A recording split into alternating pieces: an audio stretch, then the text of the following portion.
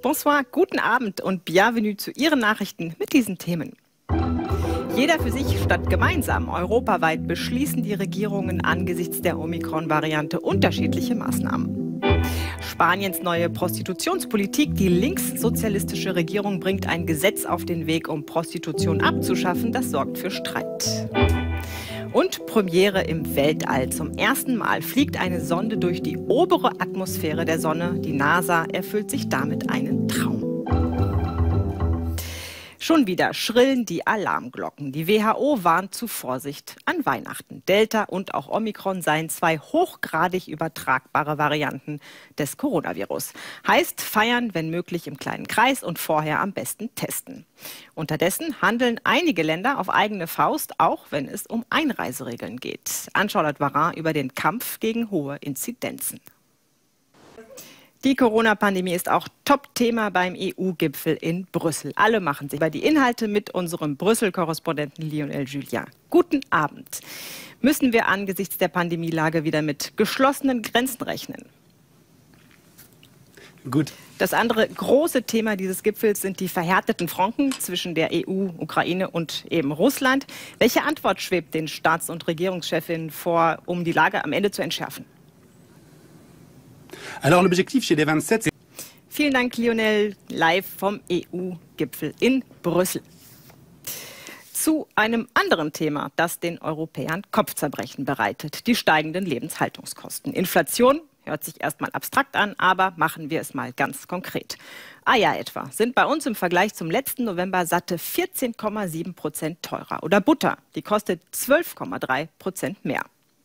Unter Druck setzt das nicht nur VerbraucherInnen, sondern auch die Notenbank. Die EZB hat am Mittag nun eine Entscheidung in der Geldpolitik getroffen. Manuel Dontas sagt uns mehr dazu. Morgen wird weltweit ein Thema zur Sprache kommen, das sonst meist unter ferner Liefen behandelt wird. Der 17. Dezember ist Internationaler Tag gegen Gewalt an SexarbeiterInnen. In der großen Mehrzahl sind es Frauen, die unter Ausbeutung leiden.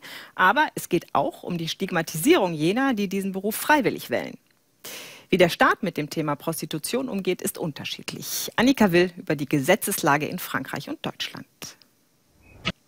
Den richtigen Umgang mit Prostitution scheint es nicht zu geben. In Spanien wird gerade ein neues Gesetz diskutiert. Die linkssozialistische Regierung unter Premier Sanchez will die Prostitution langfristig abschaffen. Bisher ist es weder verboten noch erlaubt, sexuelle Dienstleistungen anzubieten. Tatsache ist, Prostitution bringt jeden Tag 5 Millionen Euro ein, so die spanische Justiz. Wie das Gesetzesvorhaben ankommt, dazu unsere Reporterin Marie Bolinches. Eine ausführliche Reportage zu dem Gesetzesvorhaben in Spanien finden Sie auf arte.tv slash Kreatur. Sie gehört zu einem ganzen Dossier, das einen feministischen Blick auf Prostitution und Sexarbeit wirft. Nicht nur wir JournalistInnen gucken genau hin, wenn die Organisation Reporter ohne Grenzen ihren jährlichen Bericht vorlegt. Denn die Zahlen darin zeigen, wie es weltweit um das Grundrecht Meinungsfreiheit steht. Deutschland etwa ist im Ranking von Platz 11 auf Platz 13 gefallen. Was sonst noch drin steht, dazu Beate Fischer. Noch nie ist ein Raumschiff der Sonne näher gekommen als die Parker Solar Probe der US-Raumfahrtbehörde. Die Begeisterung bei der NASA war dementsprechend groß. Von einem Meilenstein war die Rede. Bis 2025 wird die Sonde unsere Sonne weiter untersuchen. Die ForscherInnen hoffen dann besser zu verstehen, wie Sterne funktionieren.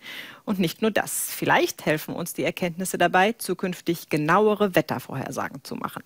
Mehr über diese Mission der NASA erzählt uns Jessica Hans den Nachthimmel für Events mit Lichttechnik erleuchten oder Bühnenshows das ganz besondere Design verleihen.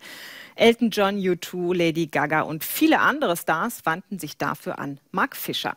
Der britische Entertainment-Architekt gehörte zu den besten und innovativsten Zeichnern seines Fachs. Als er 2013 verstarb, hinterließ er zahlreiche Entwürfe. Zu sehen sind diese jetzt im Museum für Architekturzeichnung. Romy Sidor nimmt uns mit auf einen Gang durch die Ausstellung. Damit geht unsere Sendung zu Ende. Bei Re direkt im Anschluss geht es darum, wie Arbeitslose am besten zurück in den Job finden. Eine Reportage über deutsche und österreichische Projekte, die mit vielversprechenden Ideen arbeiten. Jetzt wünsche ich Ihnen noch einen ganz schönen Abend und sage bis bald. Morgen steht dann an dieser Stelle Anja Waltereit. Très très belle soirée et à bientôt.